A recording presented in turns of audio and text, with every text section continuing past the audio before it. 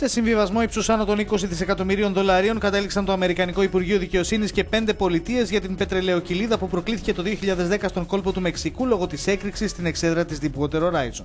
Ο συμβιβασμός κλείνει κάθε αστική διεκδίκηση εναντί της BP για τη διαρροή σχεδόν 134 εκατομμυρίων γαλονιών πετρελαίου.